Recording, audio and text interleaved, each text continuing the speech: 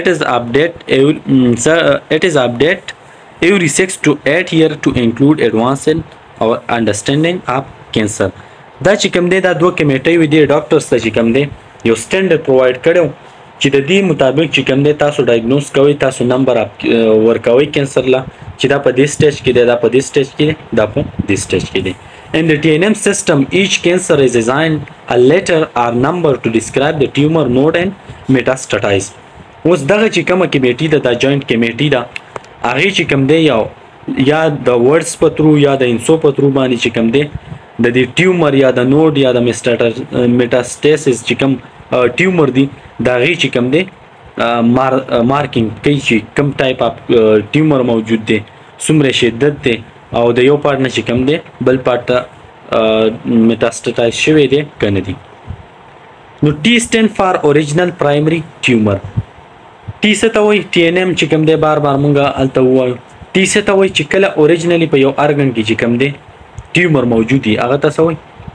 پرایمري ټیومر ان سټین فار نوډز اټ ټیل ویئر دن کینسر هی سپریډ ټو نیر بای لیمف نوډ اوس فار ایگزامپل دلته چې کوم دی کینسر موجود دی او دلته اوس نږدې یو لیمف نوډ موجود دی هغه تم تللی دی نو دی له به ته ان ان چې کوم دی ورکی نمبر کې په لیټرز کې ام سټینډ فار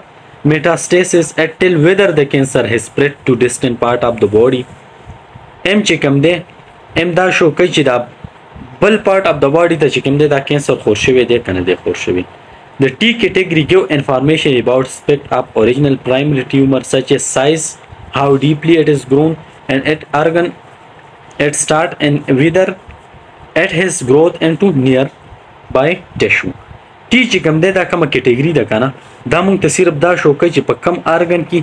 ټیمور موجود دی سایز یې څومره دی او څومره ډیپلی دی او څومره ګروث شوی دی او کم ارګن کې چې کوم دی دا موجود دی دا ټی مونږ ته شو کوي اوس په ټی کې فردر چې کوم دی دا کټګریز دی ټی ایکس مین ټیومر کین ناټ بی مایل ټی ایکس مین مطلب دا دی چې ټیومر نه مایل کیږي ټی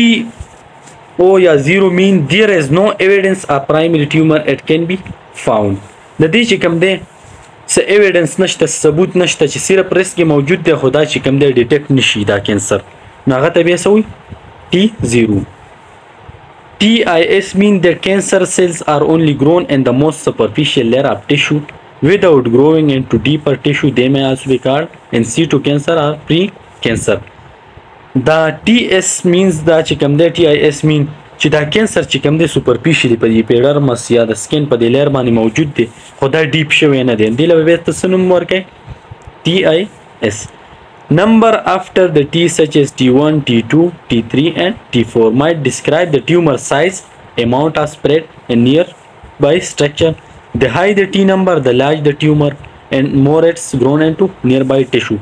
د ټي دا ویلیو چې کوم ده دا موږ ته شو کوي سایز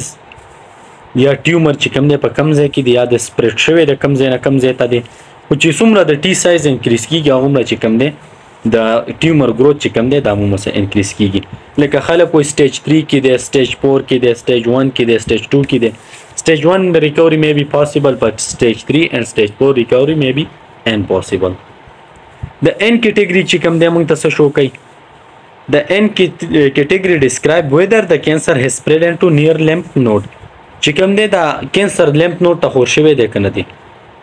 ان ایکس مین د نیر لیمپ نیر بای لیمپ نوټ کین ناټ بی ایوالویټډ چې کوم دا لیمپ نوټ دی دا ایوالویټډ دی مطلب دا چې کوم دا د ډیټیکشن پوسیبل نه دی نو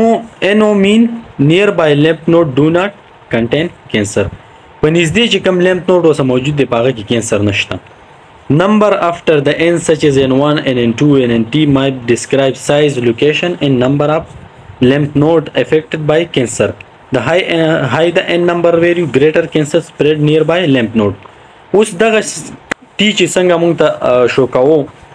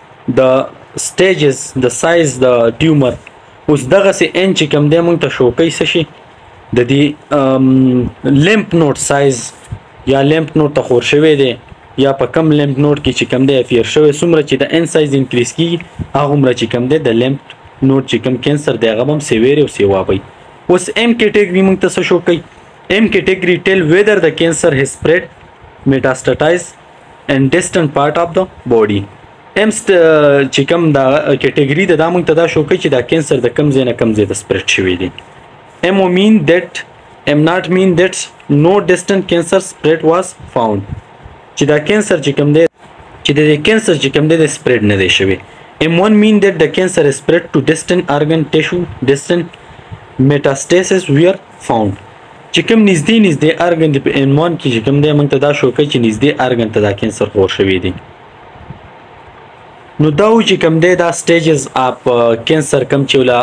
یو او جوائنټ کمیټي و ټي ان ایم او چې کوم ان کیټګری و ایم کیټګری و ټي کیټګری و هغه مونږ ایکسپلین کړ دا چې کوم دی دا سټیجز دا ډاکټر ورکی بیا چې کوم سټیج کې چې کوم دی د کسته کینسر شوی دی نو دا دا و چې کوم ریمیننګ ټاپک په یونټ 3 کې چې کوم دی پاتې شو تا پارت 3 چې کوم دی هغه به زه فرست اپلوډ کوم او نیکسټ ان شاء الله دواړه به یو ځای اپلوډ کوم فرست په پارت 3 تاسو ګورئ تغې نه بعد چې کوم دی د چپټر 3 چې کوم دی یونټ 3 داغه به پارت 4 هم تاسو ګورئ دا چې کوم 11 12 منټ ویډیو دا دا چې کوم دی دا مست ګورئ تاسو په دې کې په ټول پیتو چې کوم 4 یونټ مونږ کور کړ په دې کې څه قسمه کوېسچن تاسو یې کوم ټاپک باندې نه پوه شوی زه به ته چې کوم دی په پیج باندې بیا ایکسپلین کوم ویډیو لیکچر به چې کوم دی په ریکارډ کوم تاسو ماته کمنټ سیکشن کې بالکل شی ویل او چې کوم ځای کې په بل ځای کې مسلې تاسو ماته شی ویل ان شاء الله چې نوی سلایډ راشي د پیتو هغه به بیا چې کوم دی اپلوډ کوم آی تھنک ایمیونالوجی راغلی دا هغه به ان شاء الله سبا اپلوډ کیږي نو تاسو بیا وګورئ د لوی الله فامان الله حافظ